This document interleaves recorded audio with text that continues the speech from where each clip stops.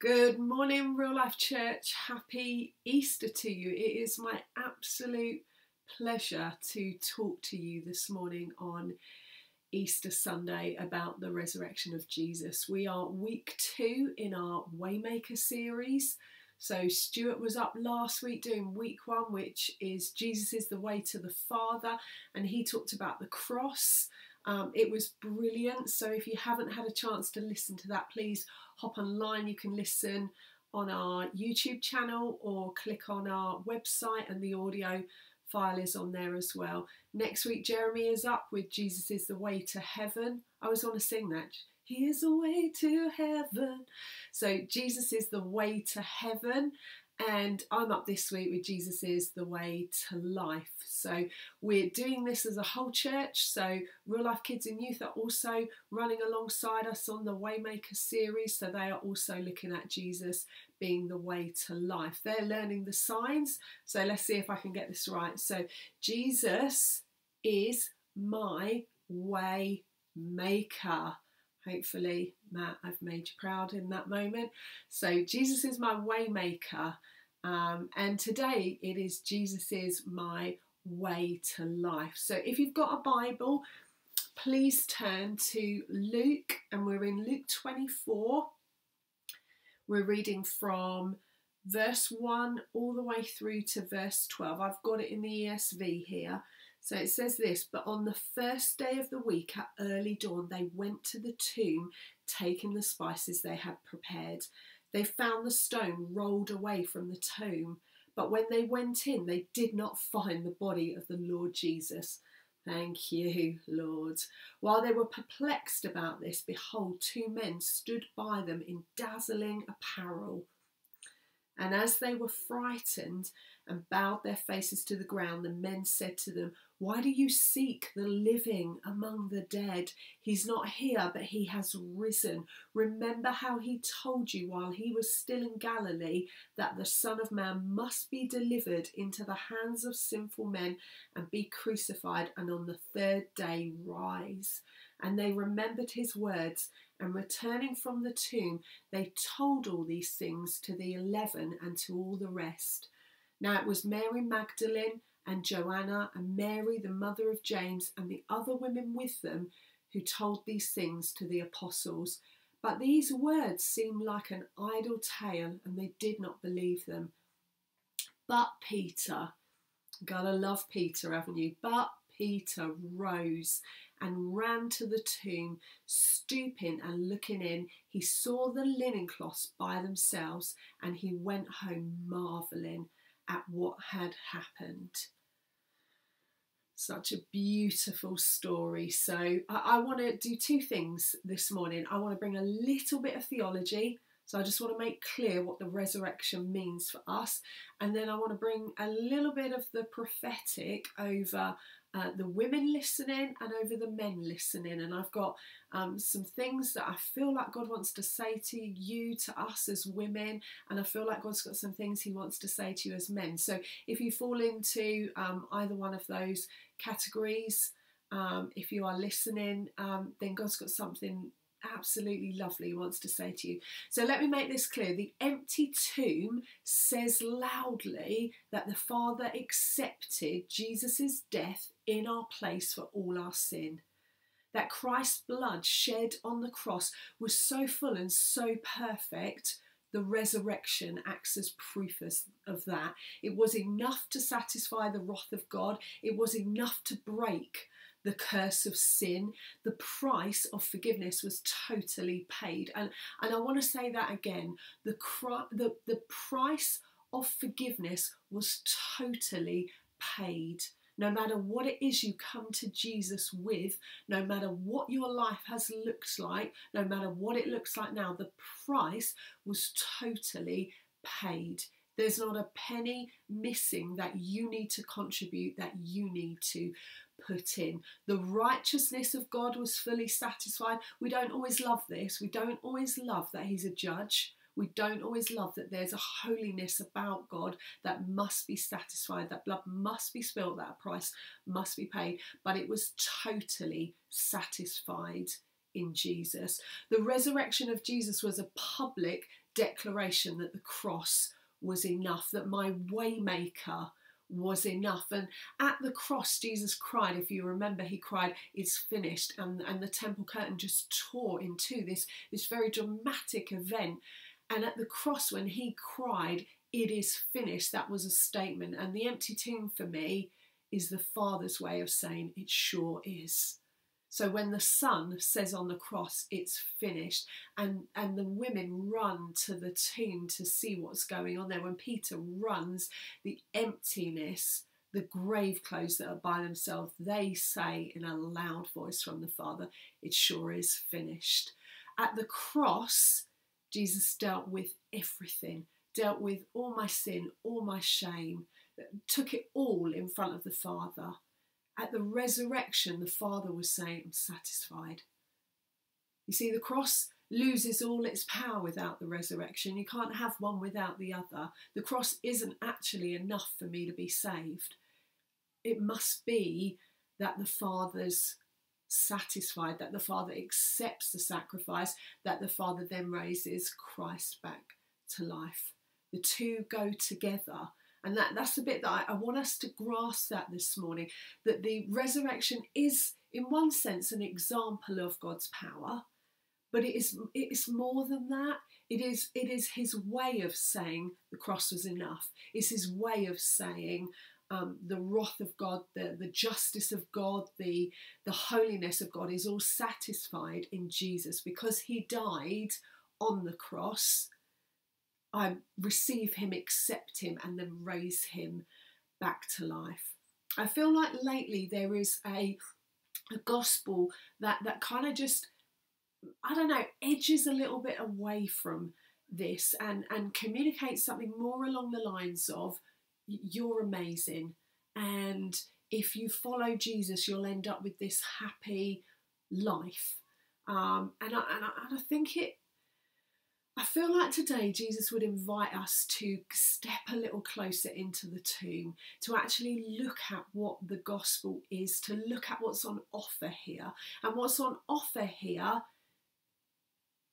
is total forgiveness, is total freedom, is a right standing with God, is a right understanding of who we are in Christ, is, is all of those things and there isn't there's there's not a promise of an easy, happy, pain free life. There is a promise of a full life. There is a promise that you will be right with God. There is a promise of total forgiveness, of total freedom there's one where, where you are right with God forever and you get to walk with God forever through everything, no, no matter what. The gospel that's on offer here is found on the empty cross and in the empty tomb. It's found in the total forgiveness, the, t- the wrath of God being satisfied. It's found in that place.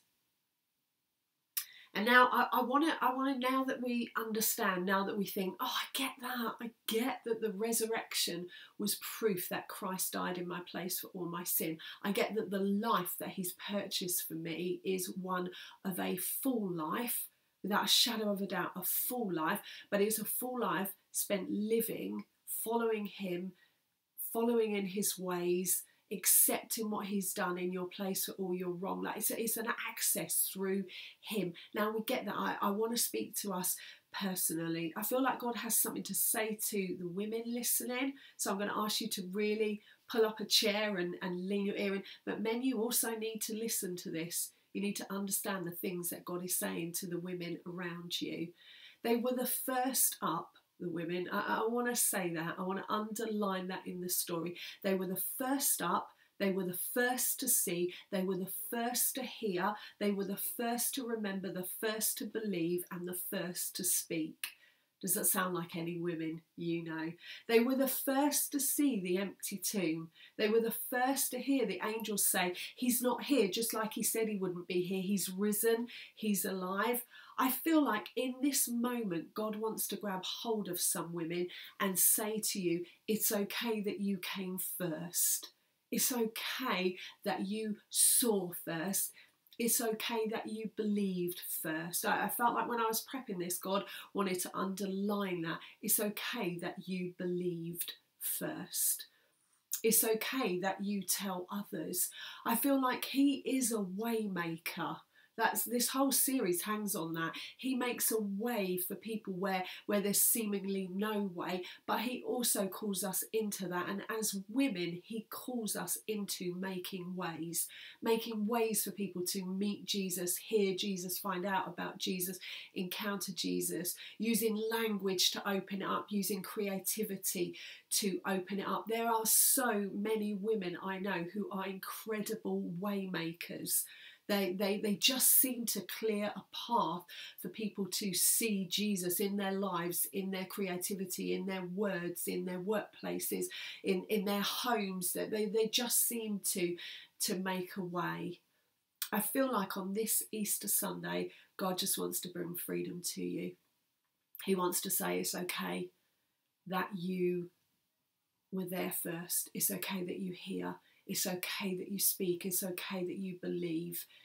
I need you to understand that in the context of the New Testament, a woman's testimony was not valid in a court of law, was not seen as a as a valid testimony of what had happened, was not was not valid in most places, to be honest. Even the apostles, most of them were thinking these these women are a little unhinged and they've just told us a crazy story. Peter is the one who's up and out.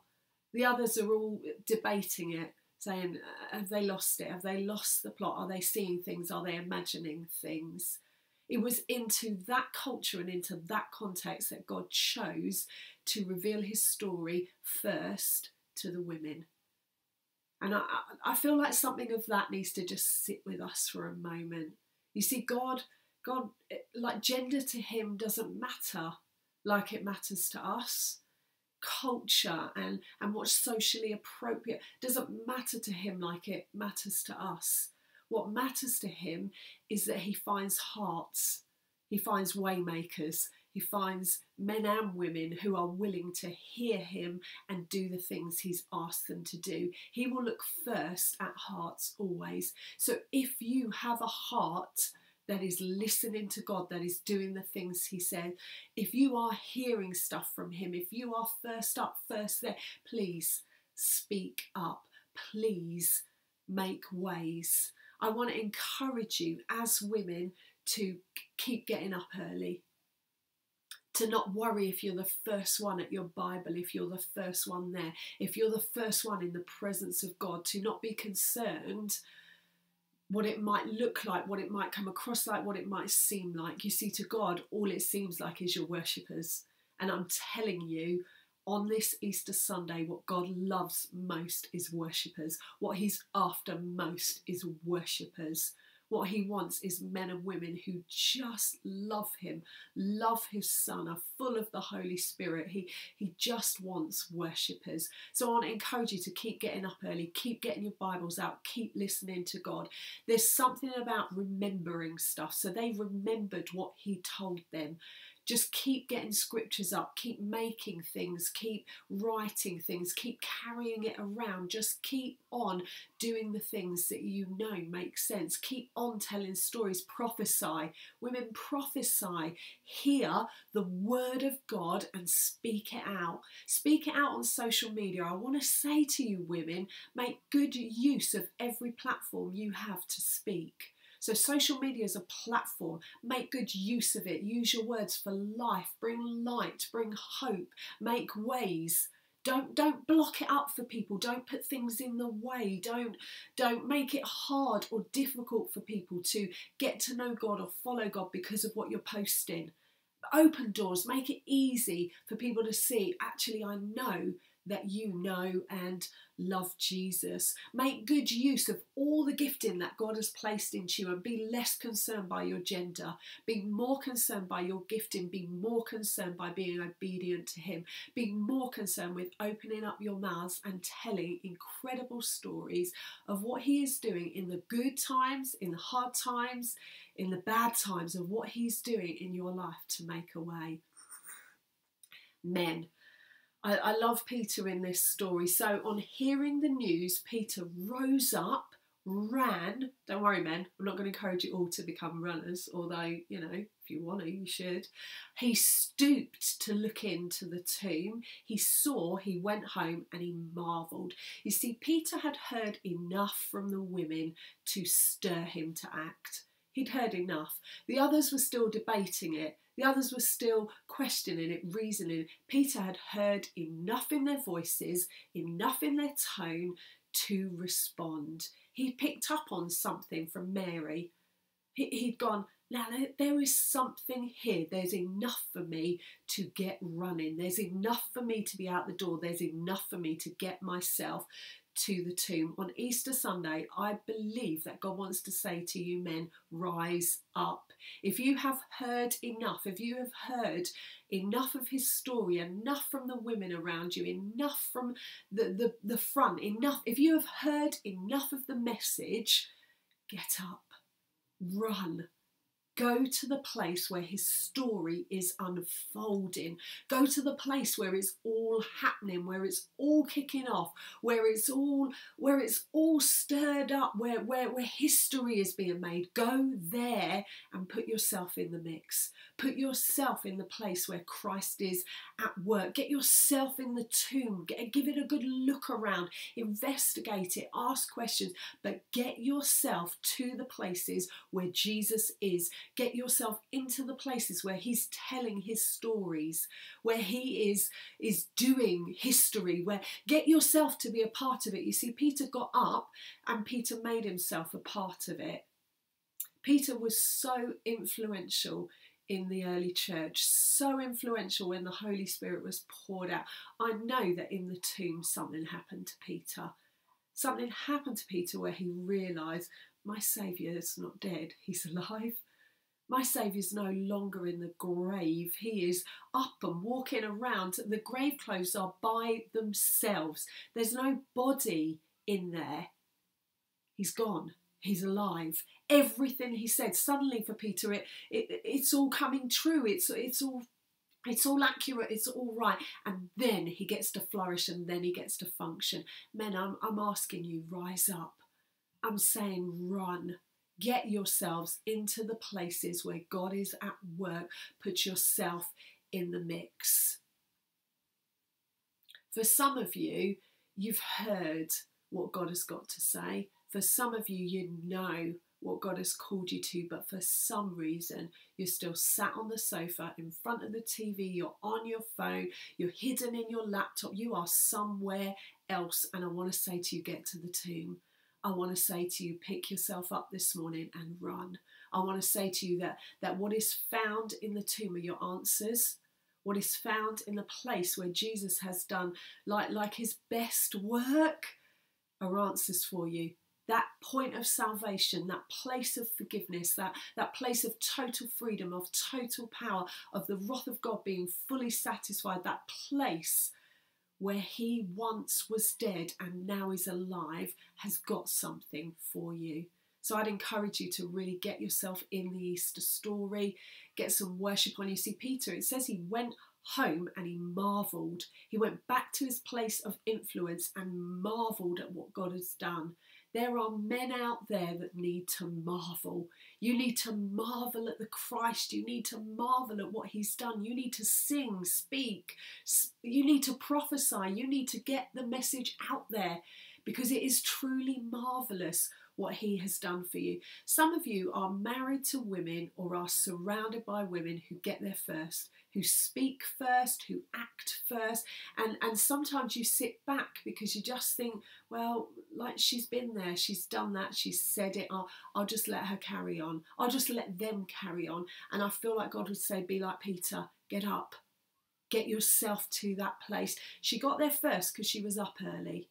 That's not the end of the story. That's not all that God wants to tell. What He wants to do is pull in men and women and he wants to pull them into that place and see say to them see that place where i was dead i am not there anymore i'm risen i'm alive and because that same power that raised me back to life exists now in you is found in you that total forgiveness, that total freedom, that total right standing with God. It is your access to the best life you could ever live. There will be suffering, there will be hardship, there will be pain. There will be all of that in the mix, in the offering, but you will live with Christ. You will live with his resurrecting power surging at work in you, propelling you forward. You will live with his stories. You will live with his way through stuff, and you will help others find a way. So I want to encourage you, whether you're whether you're male or female, whether you whether you see yourself as a Peter or a Mary, whether you see yourself as as one who is still in the house questioning stuff, I want to encourage you to get up. Go to the tomb, Go to the place where God did his best work. Marvel at the cross, marvel at the empty tomb, marvel at the Christ who was enough for God. Therefore, he is most definitely enough for me. Listen to the cry from the cross that says, It's finished. Go to the empty tomb and hear the Father say, It sure is. Listen to the angels who say, He's not here anymore. He's alive. Watch Peter, watch Mary, be like them. This story is incredible. This story changes life. This story should change our lives. It should change it at Easter, but it should change it every single day. Christ was enough. The price he paid was enough. I now get to walk into the life I always should have lived. I get to walk into a life with him through it all, no matter what. And that is, for me, the best bit about Easter. It's the best bit about the cross, it's the best bit about the empty tomb, is I get to stand right with God and I get to walk into his wonderful presence and I get to live the best life now on the earth. It's not the easiest, not the happiest. It is by far the best, filled with some of the most joyous moments you'll ever know. So I want to pray now I want to say to you that if you don't know Jesus as your personal Saviour, you should. He loves you. The cross made a way for you to be right with God. The empty tomb has dealt with everything. You get to walk into the presence of the God who made you and loves you. In one respect, why would you say no to that ever? And if you already know him, keep on enjoying him, keep on telling his stories. Lord Jesus, we, we love you, we worship you, we thank you for the empty tomb, we thank you for the empty cross. We thank you that on the cross and in the grave you were enough, you were enough of a sacrifice to deal with the wrath of God, the right wrath of God against the sins of the world. And you made a way for us to be right with our Father in heaven. You made a way for us to live a full life now, and you made a way for us to live forever, to get to heaven. Your gift to us is amazing, and we willingly accept it and we say thank you. Every day of my life, I say thank you to you, Jesus. Amen. Amen. So I want to say, wash your hands, stay close to Jesus. If you hang on at the end of this video, there'll be the playlist, there'll be the sermon from last week, there'll be the stories, there'll be all the things that you need to make Sunday work. Happy Easter!